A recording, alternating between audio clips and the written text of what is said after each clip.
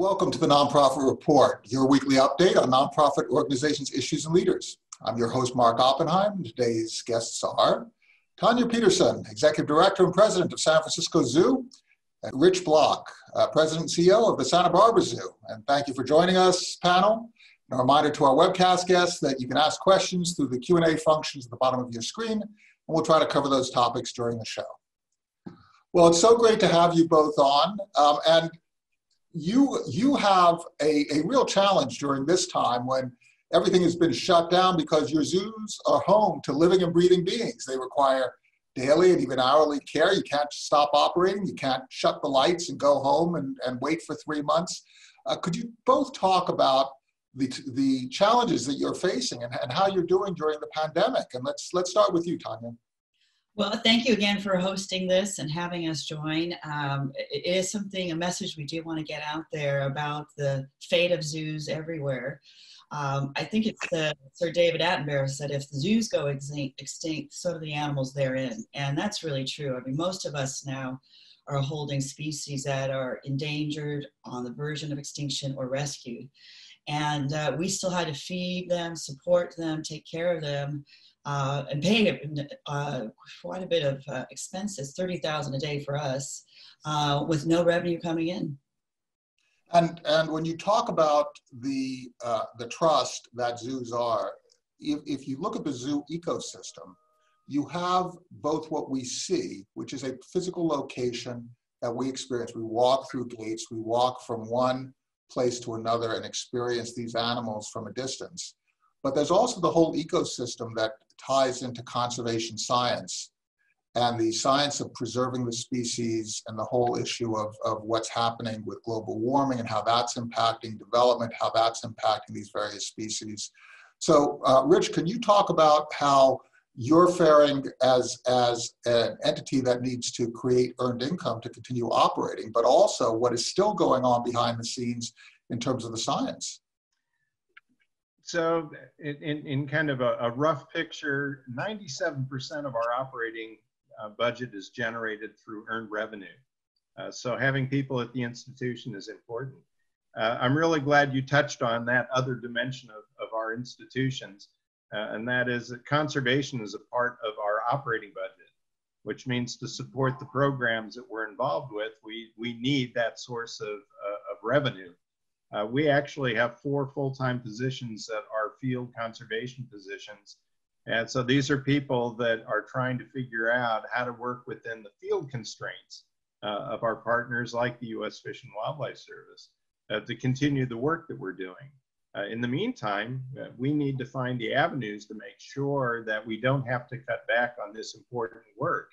Uh, because at the end of the day, uh, all of those species that are in the wild that are threatened are facing uh, challenges uh, their situation is not going to improve uh, while we're going through uh, these these situations. So uh, that you know that's a that's a point well taken. How do we balance that? How do we make sure that we can allocate resources in, in a way that we can support those programs while we're caring for the welfare of the animals under our care Zoos have also transformed over the last years. When zoos originally came up, it was because we were looking as, as people uh, very often in, in places removed from what the animal's natural habitat. We were looking at these oddly colored, oddly shaped wild animals, and we were fascinated by them. Um, giraffes and, and zebras and, and, uh, and other small uh, stick insects and so on. But as we have gained so much access to, um, to the world of information through devices like this, right? We don't need to go to zoos for that purpose. The, the other purpose, which is the scientific purpose, the whole idea of informing people about different aspects of living on this planet are, are, is so important. Tanya, how do you unpack the information that the scientists develop, that conservationists develop, so that it's accessible to, to the visiting public, both through the online visit as well as the in-person visit. Think well, our uh, mission statement is I, I like to just shorten it to the three C's. You know, if we connect people to wildlife, they'll ultimately care about it and conserve it. So, I, for the very young and the new, to animal wildlife, just experiencing these beautiful ambassadors as they walk through the zoo. I mean, that's the first step. Uh, but we certainly provide educational signage, uh, outdoor speakers. We have naturalists and ambassadors there um, to educate. We have a whole science and wellness center. People are welcome to visit and, and gain more information. So, from a very visceral, just awesome experience to a very scientific and educated experience. We try to offer it all. How will you be doing this during social distancing where people can't necessarily gather within a, a confined space? Are you mostly moving those activities just out of doors? Yet everything we're doing now is outdoors, even our childcare programs. Uh, we're using those speakers and online uh, safaris, if you will, more to educate and constantly update, especially our membership with emails that this is the latest. But, you know, staff did, so I think Rich's staff did the same thing, local safaris so that we could help our community identify local bugs, snakes, which right in your own backyard, and keep folks update what's going on here at San Francisco Zoo and Gardens. And Rich, uh, are you also moving everything outside? You've been you've been open for now uh, three or four weeks, right? And and Tanya is just reopening now. Have you, uh, in your experience, been able to move everything into areas where people are socially distanced safe? Right, and and so I think all all accredited institutions that have uh, reopened at this point, uh, any of those areas that are in indoors enclosed uh, have been been kind of set off limits. Uh, so even some of the viewing areas that are somewhat enclosed uh, have been kind of cordoned off uh, to prevent people from congregating and, and grouping there. Uh, I mean, you know, this is the management challenge for, for the, the zoos right now that are open, and that is trying to not only manage social distancing, uh, but now, well, it's, it's happening everywhere, is, is to enforce the requirement for masks, uh, which is a, a, huge issue. So, you know, part of our job has now become uh, sanitizing things uh, and then monitoring our guests to make sure that uh, they're safe. And this is important for our employees as well. I mean, they want to know that when we have all these people coming in through the zoo, that, that their welfare is also being considered and that we're trying to make sure that that, that our guests, our employees, and the animals under our care, that everyone is safe under these circumstances. You know, we we also have become very aware of trans-species infections, right? We have coronavirus uh, that originated in bats, and we've heard about uh, about the tiger who who had been diagnosed with coronavirus. Are you at all concerned about those kinds of transmissions within your um, with, within your uh, animals uh, who you care for? Well, of course we are, and with primates, we have long been concerned about uh, zoonotic transmission, maybe TB or other diseases.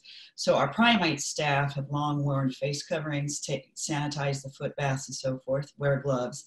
Um, once that we heard about the, uh, the pandemic, we started then asking all animal staff to wear, uh, because we just didn't, weren't sure where the transmission would occur.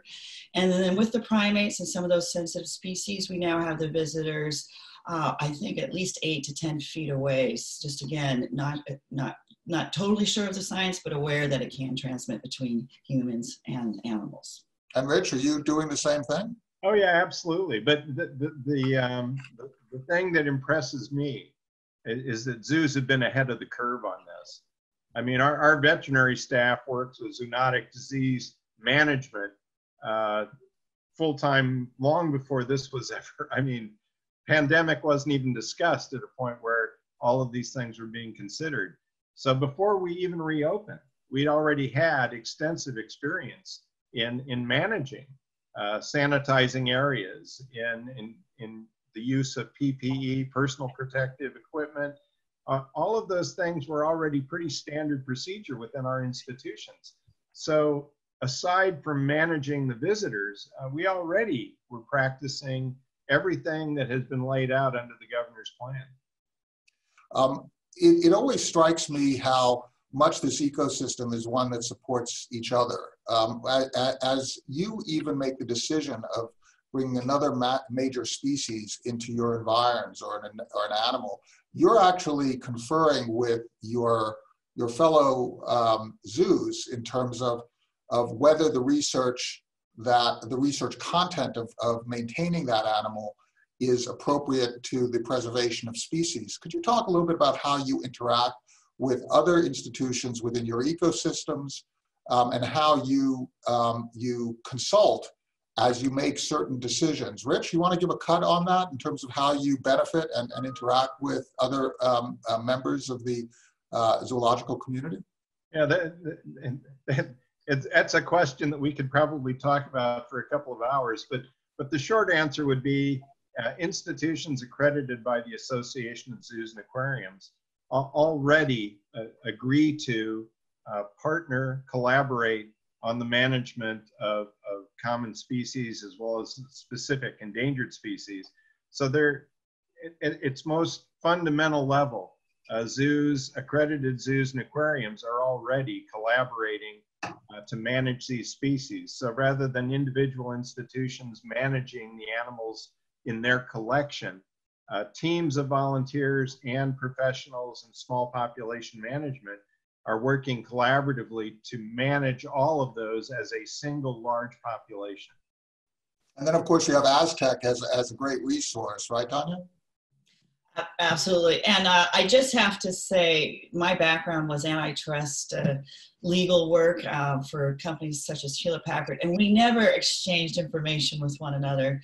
The moment I became a zoo director, I think Rich was the first to send his strategic plan and his five year thinking and staff organization. And I, I thought, oh my goodness, we're going to get an antitrust violation for conspiracy and price fixing. I mean, you just opened up his books, and I appreciate it. And that's been true. I mean, the zoo directors generally meet once or twice a year.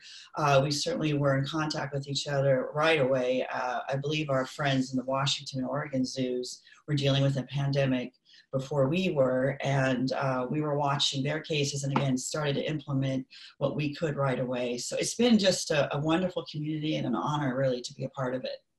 You're also pointing out that not everybody comes from a particularly um, predictable career path who ends up running these institutions.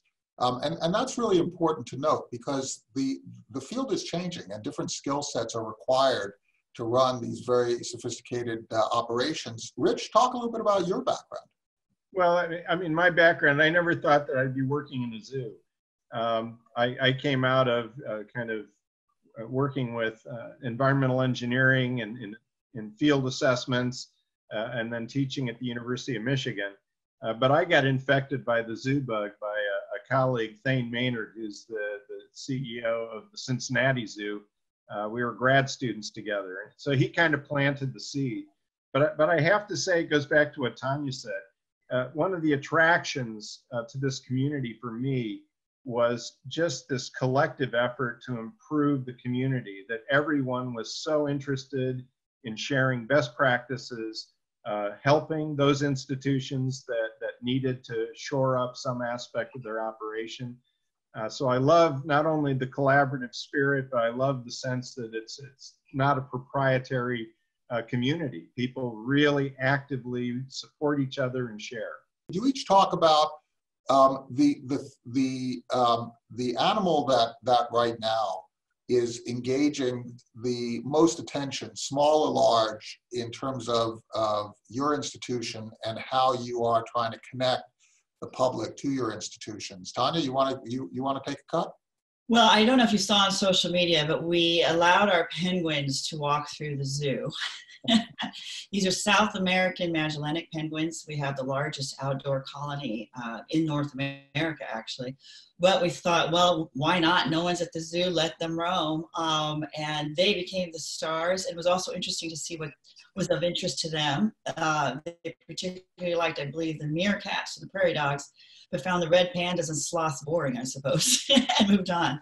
Um, but it was just a fun way. We hope to capture the attention that, hey, we're still here, the zoo's still here, um, and uh, make awareness of the, the plight of the penguin and other birds, especially as this uh, pandemic grows. I'm sure you're aware that ecotourism is, is down and poachers are getting the best of us in many nations.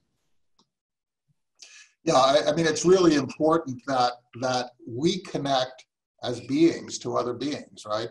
And and as we do that, it's it's almost as if we are uh, developing. We need to develop our empathy gene, our, our our awareness of how much we rely on the unconscious existence of penguins in areas that we will never visit. Right. right? And we can only do that by, by looking at these penguins and saying, you know, they're pretty they're pretty interesting. Let's let's not kill them.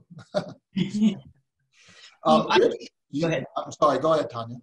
Well, I was just going to say, I think we need them. We started an equine therapy program for the disabled this year, um, and a lot of our teens and others really rely on those connections with our horses uh, and other animals. And you know, so it, it just saddens me uh, uh, that when we were closed, those connections couldn't happen. Rich, do you have a particular um, focus that you've had over the last period of time? Well, I, you know, for, for us, certainly, as as a lot of people would say, there is a group of charismatic megavertebrates uh, that seem to not only uh, capture people's uh, attention and passion, uh, but a lot of them think of them as the iconic uh, parts of our zoos. Uh, we have two new lions to to start a new pride, and of course, they've garnered a lot of attention. a baby giraffe on the ground, one on the way uh, literally any day now. Uh, the, the challenge is uh, giraffe feeding was one of the favorite attractions at the zoo. That's something that we've had to suspend uh, until such time that, that we can bring that back online. It builds a, a fantastic connection. It, it goes back to, to Ed Wilson has this uh, theory about biophilia and the fact that, that we are hardwired to want to connect with nature, that it, it's just something that's part of who we are. And I, I think that's the wonderful part of zoos today is and, and zoos and aquariums is that, that we help kind of build that connection. And, and to me, there's something very satisfying as knowing that we're kind of completing that aspect of ourselves. Um, we've we've uh, received three related questions, and it really has to do with uh, with your point, Rich, about uh, being so reliant on earned income and, and uh, ticket sales in order to maintain the operating budget. Um, and, and some of these uh, questions are about the contributed revenue side as well.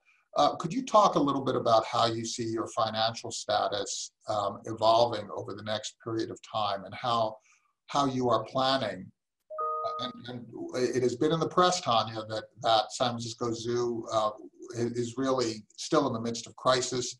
Um, but before we go to Tanya, Rich, could you talk a little bit about how you're navigating with, with a 97% reliance on the gate, um, as you said? Yeah. How is this, how is this uh, evolving for you? How, how, do you see the next year developing?